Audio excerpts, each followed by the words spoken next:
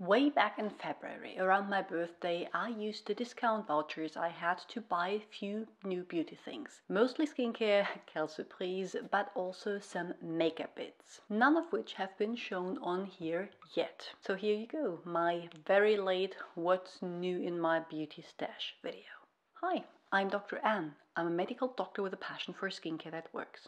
On this channel, we explore the science behind skin and do quick reviews so you learn to pick exactly those products that work for your individual skin concern. So if this is something you're interested in, please consider subscribing and ring the notification bell. And I just realized I already did share one thing with you, the Inkey Oat Cleansing Balm. The Inkey had quite a few great new releases earlier this year, out of which I purchased this cleanser, the Peptide Moisturizer, the tranexamic acid night treatment and the 15% vitamin C and EGF. You might remember that I did not get along with the original vitamin C serum. It has 30% ascorbic acid and was way too irritating, too intense for my skin. I needed to mix it in with another hydrating serum to be able to use it. This one not only uses 15% instead of 30% of vitamin C, but also not L-ascorbic acid, which can be pretty irritating, but a vitamin C derivative, as in ascorbyl glucoside, which is very promising in the studies that have been done so far. EGF is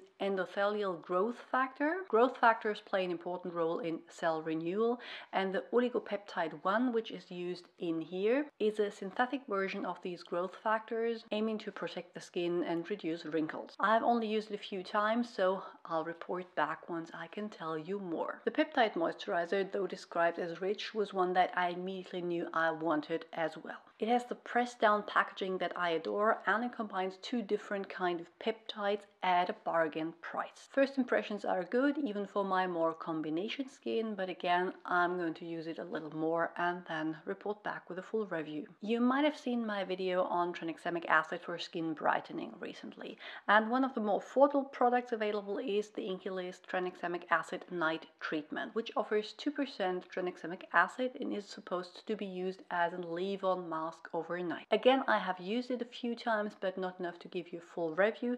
The one thing I want to tell you though, this one smells like barbecue sauce. Moving on to another brand. This one is the Tan-Luxe Super Glow Hyaluronic Self Tan Serum, which I first heard about on Caroline Hirons channel. This is marketed as skincare and it is a really nice hydrating serum, but the main feature for me, despite it containing a few humectants, is the gradual and buildable self-tan that it gives you. I have used it quite a lot since I acquired it because with the crazy work hours of the last few weeks, I really looked kind of sickish and pale and this one made me look as if I was leading kind of a healthy lifestyle with a lot of fresh air kind of fake it till you make it, I guess. Mentioned quite a few times already on my channel here are the Zelens Power D High Potency Pro Vitamin D treatment drops that I repurchased.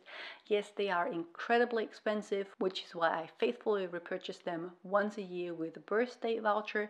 They do last me a year and they really help my skin in tolerating the tretinoin that I use this one on tretinoin nights before I apply the retinol and I really have zero irritation.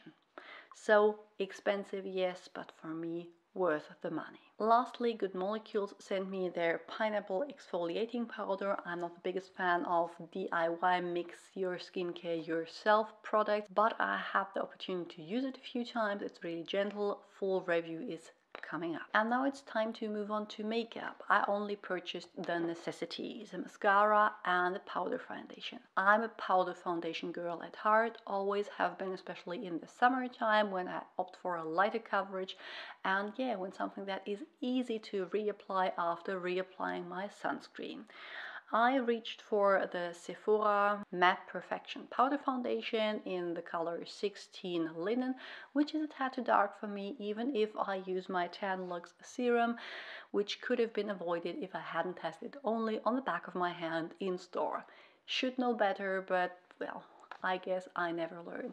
But apart from giving me a really bronzed look, this one gives a nice skin-like finish. It's not too matte and it never cakes when I reapply it throughout the day. Reapplying is necessary though because this one has a tendency to disappear after 3 to 4 hours. And then I purchased the Maybelline Lash Sensational Lash Multiplying Mascara, which is totally blogger inspired. I think I saw it on Shireen's Instagram feed, not quite sure.